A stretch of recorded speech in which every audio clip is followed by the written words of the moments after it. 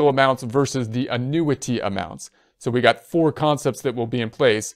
We've got the future value of a single amount, present value of a single amount, and then we have the same for annuities.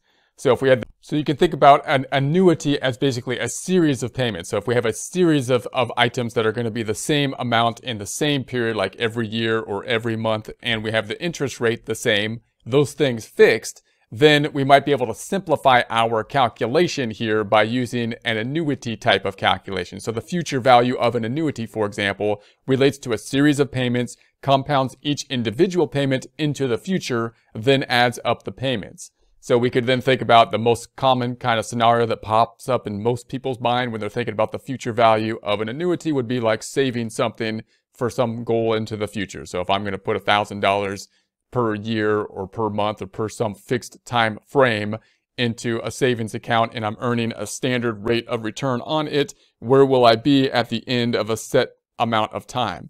So if, if everything is standardized in that format, then we can think about putting that in place with an easier calculation, which would be the future value of an annuity.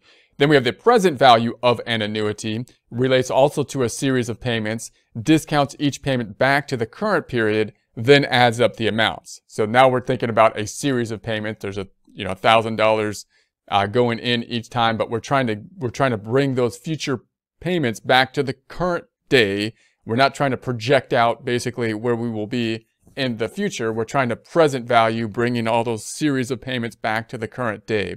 Now, note again, we, you can do this kind of calculation uh, easy, more easily whenever you see a series of payments. You're going to go, okay, I'm bringing it back to the current day. If I'm bringing it back to the current day, I'm going to use a present value of some kind, present value of an annuity, or we'll use, or we'll use the present value of single sums. If you're trying to think about where you will be in the future type of calculation, then you're typically thinking future value of one, future value of annuity.